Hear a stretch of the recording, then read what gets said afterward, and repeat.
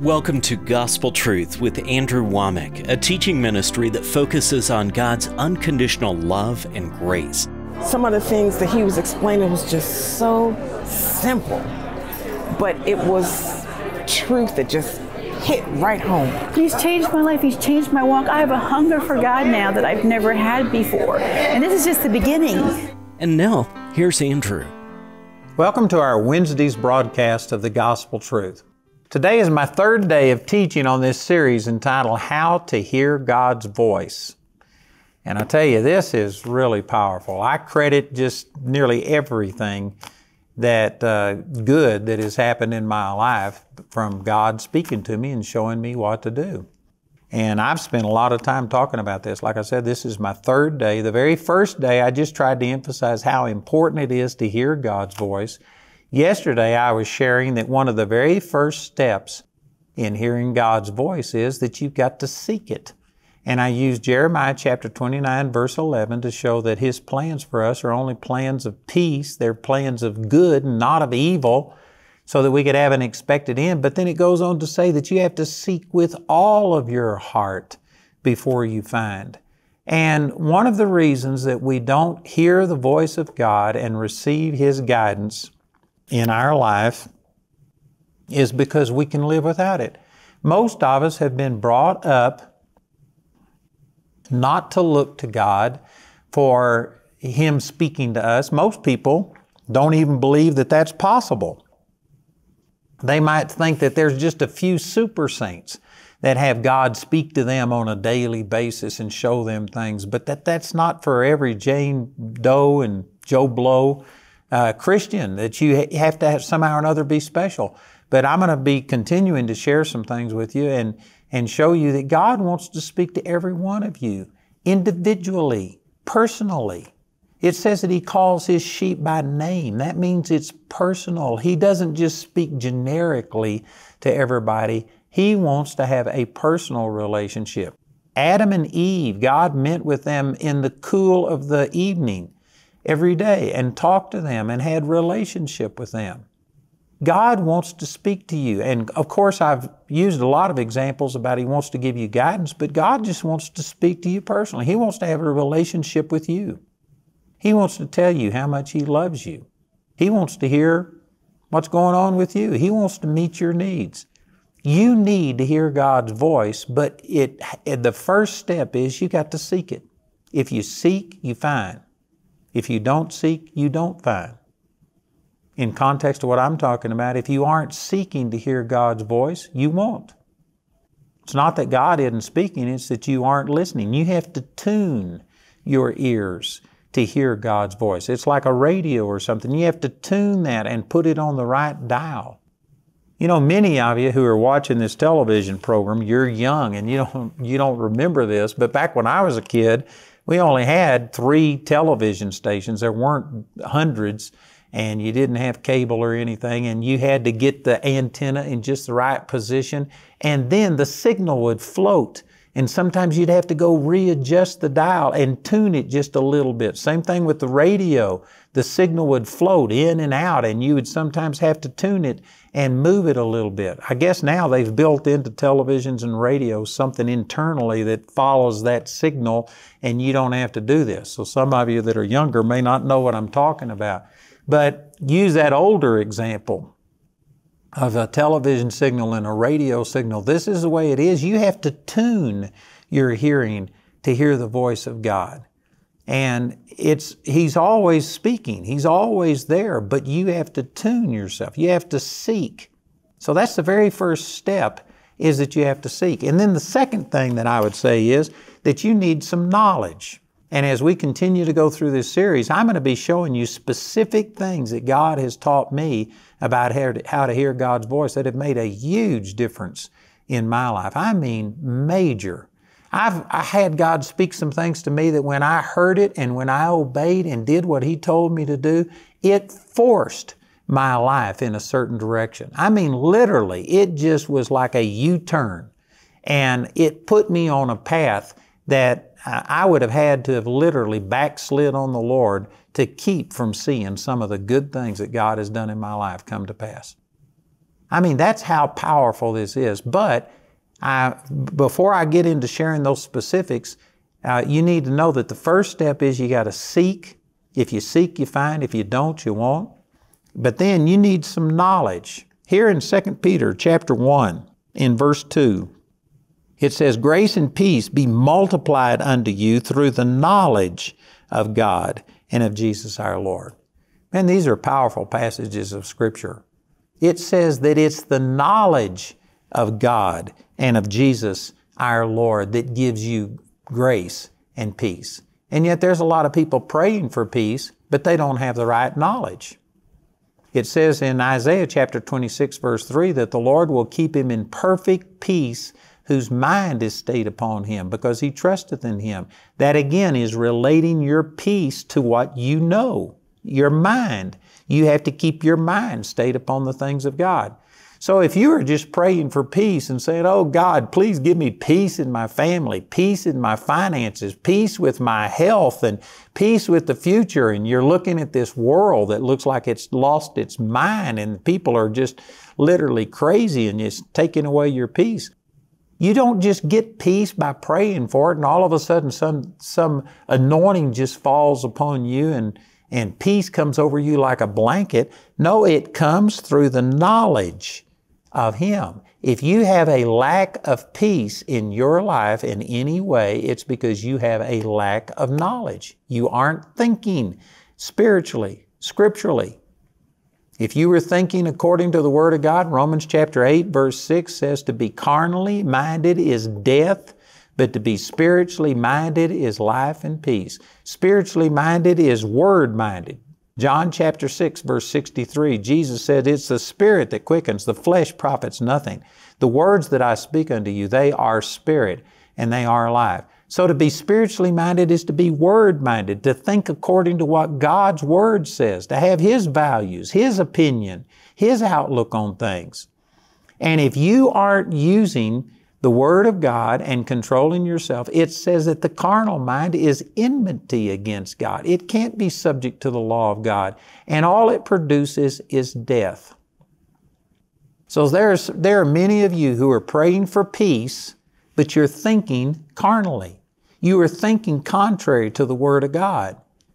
You aren't, you haven't adopted the values and the principles of the Word of God. And according to the Word, you aren't going to have peace. You got to keep your mind stayed upon God. You have to be spiritually minded to have life and peace. So you're praying for life and peace, but you're thinking carnally. It doesn't work. You need the right knowledge. You need the knowledge of God's Word. And I tell you, I see this happen all the time that people pray for peace, they pray for healing, they pray for prosperity, they pray for all of these things, but then their thinking is just completely contrary. You've got to recognize that if you have a deficiency in your life, you've got a knowledge problem. And I'm not talking about secular knowledge, going to college and getting something. You have a deficiency in understanding the Word of God. And it goes on to say in the next verse, in verse 3, it says, according. The word according means in proportion to or to the degree of. So this grace and peace will be multiplied unto you through the knowledge of God according to, in proportion to, His divine power hath given unto us all things that pertain unto life and godliness through the knowledge of Him that hath called us to glory and virtue.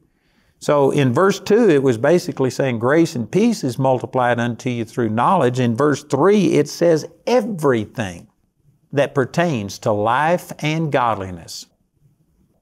Man, that's pretty inclusive. Everything that pertains to life, that certainly includes healing, that includes finances, that includes just basically everything. Uh, everything that pertains unto life and godliness comes through the knowledge of Him that hath called us to glory and virtue. If you've got a sickness in your body, you've got a knowledge problem. Now you can pray and you can fast and you can ask God to heal you, and I'm saying those things in their place are okay, but basically you got a knowledge problem. I know that until I heard about the baptism of the Holy Spirit and speaking in tongues, you know, it didn't just come upon me. I had to pursue it. I had to seek those things. I had to gain some knowledge. Faith comes by hearing, and hearing by the Word of God. You could also say that knowledge comes by hearing through the Word of God.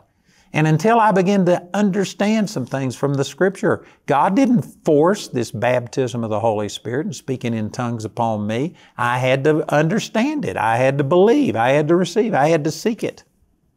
And see, this is what I'm saying. I'm talking about how to hear God's voice. The very first point I made was you've got to seek it. And then the second point that I'm making today is you've got to have some knowledge. You've got to understand some things that God revealed to us in the Word of God, how He communicates with us, and how you can hear God's voice. And so you can't only just seek, you've also got to have some knowledge. Everything that pertains unto life and godliness comes through the knowledge of Him that has called us to glory and virtue. And then in verse 4 it says, whereby it's talking about this knowledge, through this knowledge are given unto us exceeding great and precious promises, that by these ye might be partakers of the divine nature, having escaped the corruption that is in the world through lust. So, this knowledge of God gave us the Word of God. And so, therefore, I believe I'm accurate to say that this Bible, the Word of God, is the knowledge of God. And everything that pertains unto life and godliness comes through His knowledge, comes through His Word. So, as we're talking about how to hear God's voice, you've first of all got to recognize that this is not just for the super saint, this is for every one of us. He wants to communicate to you, He wants to give you His, uh, uh, the ability to hear His voice. You have to seek it in order to get it. it. You have to seek with all of your heart, Jeremiah 29 13. And that today I'm sharing with you that you've got to gain some knowledge.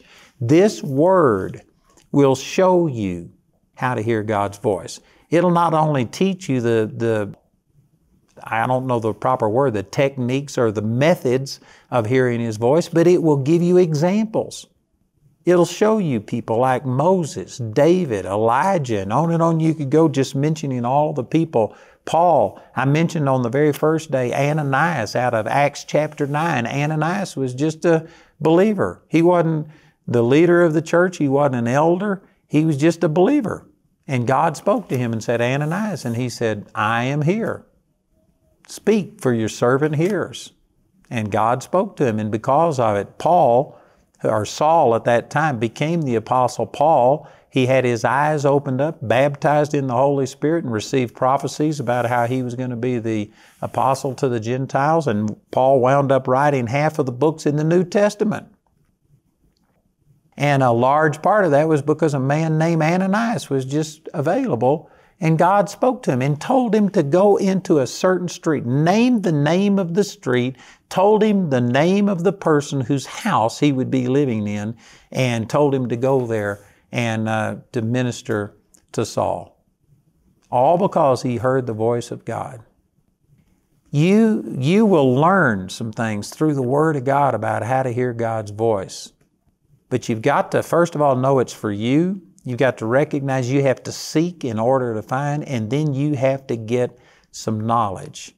The Word of God is the knowledge of God, and the Word of God will teach us how to hear God's voice. Man, that is important. That's powerful. The next thing that I would say is that you have to, first of all, know that God wants to speak to you. You've got to seek it. You've got to gain some knowledge, and that we're going to be sharing a lot of that with you through the Word of God. But then you also have to be still or be quiet and listen. And this is something that I believe is one of the biggest detriments to us hearing the voice of God is that our lifestyle today is just so busy. If you ask the average person, How are you? they're going to make some kind of a response like, Well, man, I'm busy. I often tell people I'm busier than a one armed paper hanger. Amen. That's a word picture showing that, man, you are busy. And we just have a busy lifestyle, and it literally hinders us from hearing the voice of God. You know, I had a situation where it was the year that uh, President Reagan died and that he was put in state and laid in state in Washington, D.C. And it just so happened that Jamie and I were there holding a uh, meeting in um, Virginia, right outside of Washington, when that happened. And so we went to Washington. We stood in line. We went through the rotunda. We saw the body of President Reagan lying in state. And anyway, during that time, I was walking the mall in Washington, and it was a gravel that I was walking on. And as I walked along, I was by myself, there was nobody else around me. And I was walking along on this gravel, and I just noticed, I said, This is strange because I knew that walking on gravel like that should make a sound. And yet I couldn't hear it. I couldn't hear my footsteps. And I didn't, I didn't think much about it at that time, but I just observed that. And I took note of that. And I thought, I wonder why it is that I can't hear me walking on this gravel. And then immediately after we were there, we went to the Shenandoah National Forest and I walked on the Appalachian Trail. And I was out there in the, in the woods totally by myself. And I was walking on this gravel trail. And I mean, every footstep that I took, I mean, it was loud. And it was so quiet in the surroundings that it just was, I mean, it was really loud. And I noticed, I said, how come I can hear my footsteps on this trail, walking the Appalachian Trail, and I couldn't hear my footsteps when I was walking on the gravel in Washington, D.C. And it just dawned on me that it was because of all the ambient noise. It was because there was planes going over, there was cars going by, there were tour groups, there was sirens, there was all, there was just so much other noise that it was drowning out this uh, noise that my feet were making as I was walking on this gravel. But when I got out into the woods and it was totally quiet, man, it was making a lot of noise. And as I thought about this, the Lord spoke to me and He says, That's the way that most people, my lifestyle, He was speaking directly to me, but it's not limited to me, it's true of all of us. That our lifestyle, we just have so much noise coming at us every day. There are some people that can't get in their car without leaving the radio on and you've got to be listening to something. There's some people that you can't be at home without having something playing, the TV on. We are just constantly being bombarded with things. We are constantly taking our phone and looking at the latest news story, and we are just, we are having so much information bombard us from every single area and direction that it's drowning out this still small voice of the Lord. So, one of the things I'd like to say about how to hear God's voice is you've got to be still. You've got to have some downtime, some quiet time to where you can just shut out all of these other voices and begin to start hearing God's voice. Man, that is important. And most people don't even recognize how that our lifestyle, our culture that we have today is not conducive to hearing God's voice. We have our mind so dominated by all of the things that we're thinking on and stuff that, you know, some people will say, well, I don't have a lot of quantity time, but I have a lot of quality time with God. I devote 10 minutes, 15 minutes a day to a devotion. Well, I'm not saying that that's bad, but I'm saying it's not enough.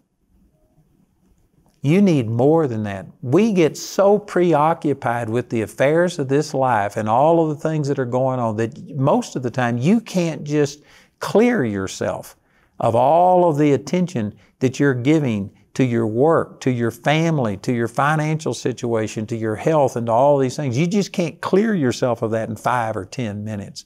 Sometimes it takes a while that you have to separate yourself.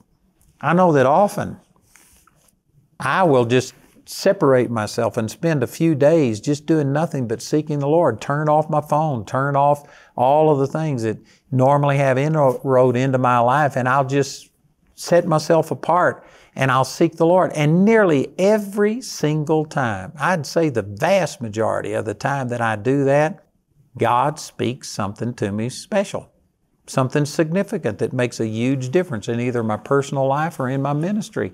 And every time it happens. And so I wonder why I don't do this more. But you know, you just get busy. I've got so many things that I'm doing, and our busyness is a detriment to us hearing the voice of God. You know, I woke up one morning and I'm a vivid dreamer, and God speaks to me in dreams a lot. And I woke up one morning and I just had a dream and I saw this banner that said Psalms 46:10. And I've quoted that verse hundreds, maybe thousands of times. You would think I could remember it, but honestly, in this dream, I could not force myself to think about what Psalms 46:10 said. So as soon as I woke up, I went and turned over to Psalms 46:10, which says, "Be still and know that I am God."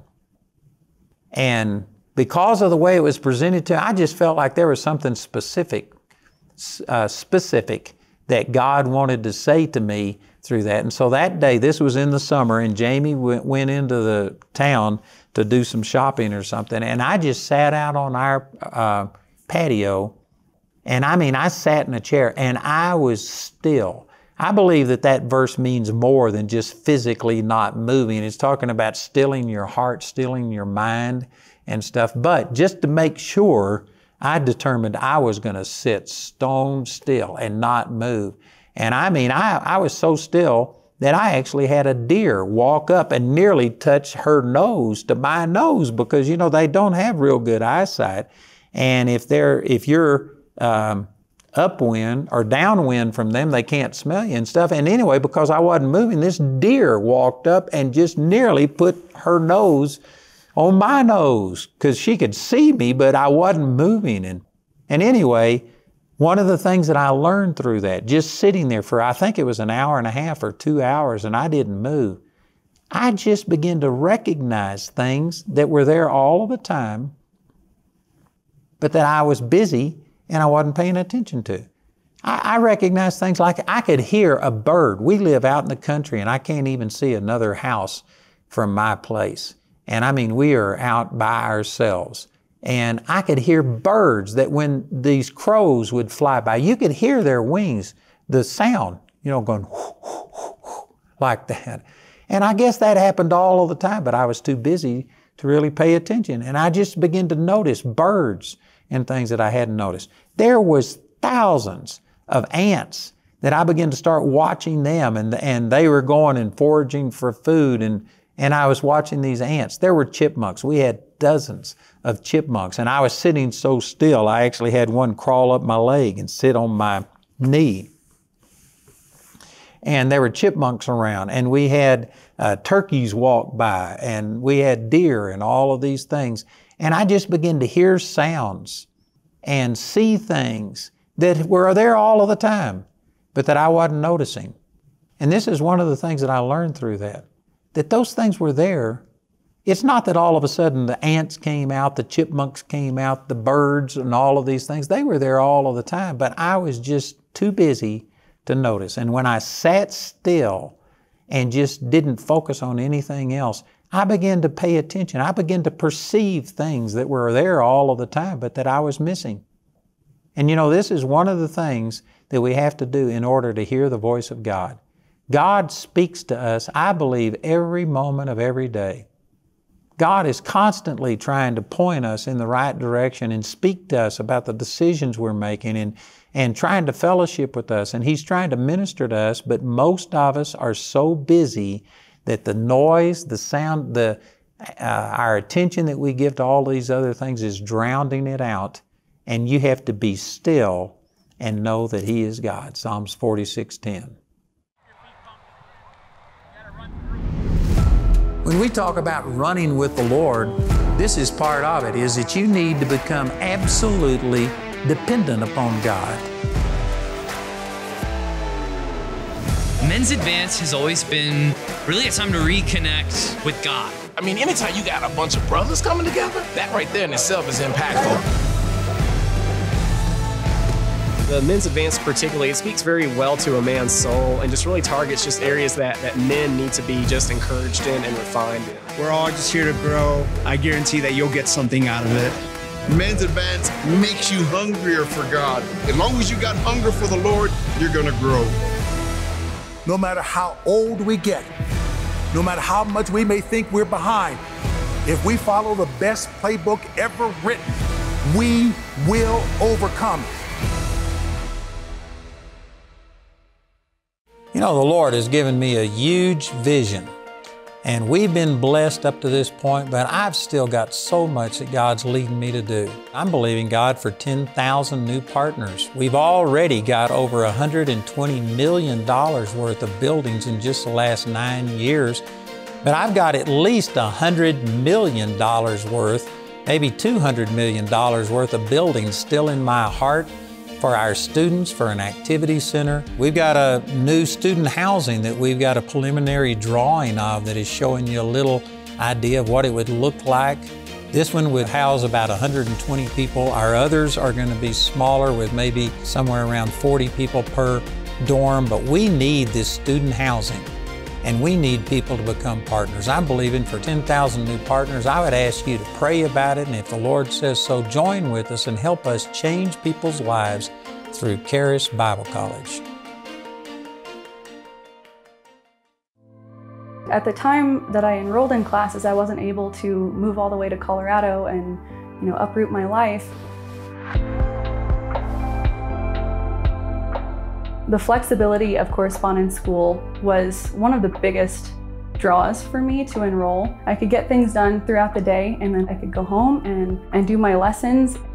It's been such a blessing for me, for my family, just to see what God can do in a person's life when they just surrender and say, okay, God, I'll follow you. My name is Macy and I was a first year correspondence student. You can complete your first year of Charis Bible College as a correspondence student. Go to charisbiblecollege.org to learn more.